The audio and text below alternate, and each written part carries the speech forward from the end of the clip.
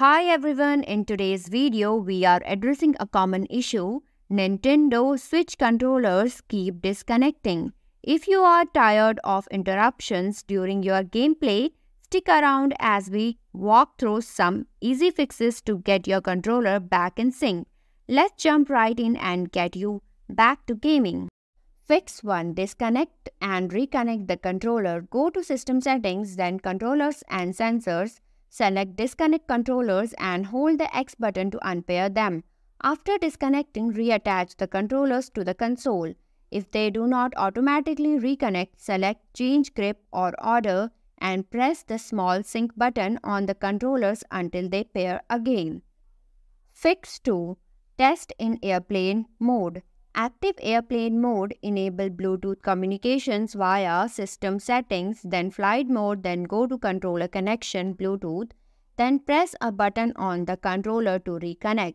Deactivate airplane mode once the controller is connected wirelessly. Fix 3. Check for wireless interference. Ensure that the console is not placed behind a TV, under metal objects or within 1 to 1.5 meters 3 to 4 feet of other wireless devices like speakers or cordless phones.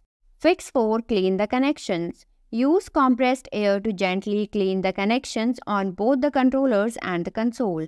This can help improve connectivity by removing any obstructions that may interfere with the connection. Fix 5. Check for updates. Ensure your Nintendo Switch console has the latest system update.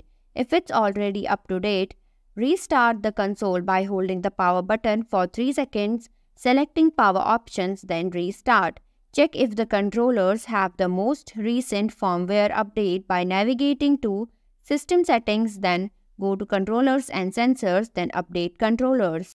Thanks for watching. If you like the video, please hit the like button. If you want to see more videos, hit the subscribe button.